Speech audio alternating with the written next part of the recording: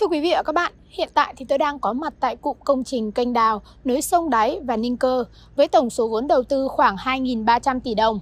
Được biết, ngày 25 tháng 7 vừa qua, Bộ Giao thông Vận tải đã công bố mở luồng thủy nội địa quốc gia của kênh đào này và kênh đào chính thức được đi vào hoạt động.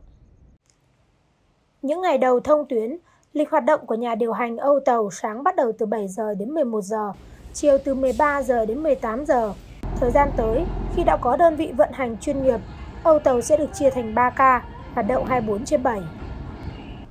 Thời gian đã đưa vào thông tuyến và thông vận hành là từ 25 tháng 7 thì đến nay là trong quá trình vận hành là các thiết bị là rất là an toàn.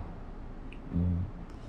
Hàng ngày là khoảng từ 20 đến 30 tàu qua Âu.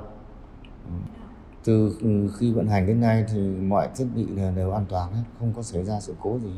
Trọng tải lớn nhất của tàu qua theo thiết kế là 3.000 tấn, chiều dài của Âu là 179 mét, chiều rộng ừ, của Âu là 17 mét.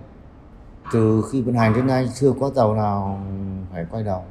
Thường những tàu mà quá lớn, thứ nhất là phải đảm bảo là kích thước. Kích thước chiều rộng của Âu là 17 mét thì cái để vận hành an toàn là rộng chiều rộng của tàu là phải dưới 16 mét chứ còn lớn quá thì không qua được.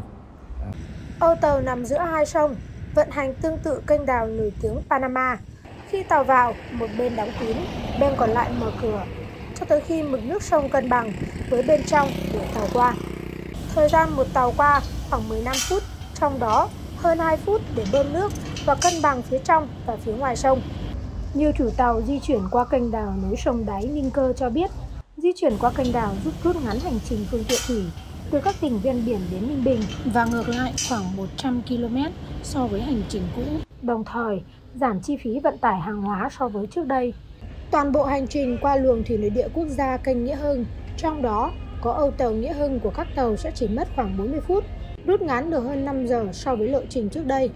Chính vì thế, thời gian qua luồng thủy nội địa quốc gia kênh Nghĩa Hưng sẽ chỉ còn khoảng 30 phút khi các chủ tàu quen với phương thức vận hành của âu tàu Nghĩa Hưng.